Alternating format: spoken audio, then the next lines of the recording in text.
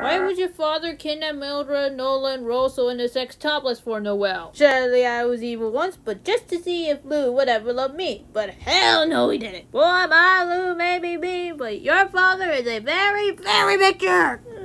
but why, Dad? Why?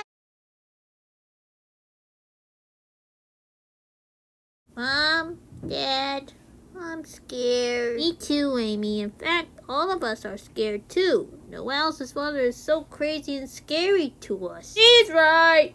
Well, to me, I'm not afraid. I'm terrified. They're the death threats. Do you think he loves his mom because of her boobs? Poor Ruby, she must have been hungry. Don't be scared, kids. Noel's gonna save us. He knows what he's doing. Kids, your father's right. He's going to save us. It just takes some time.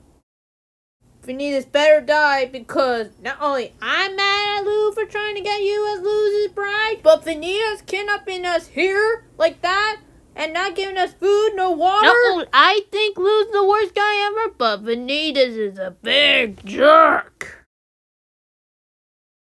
I just want to get out of here and go home.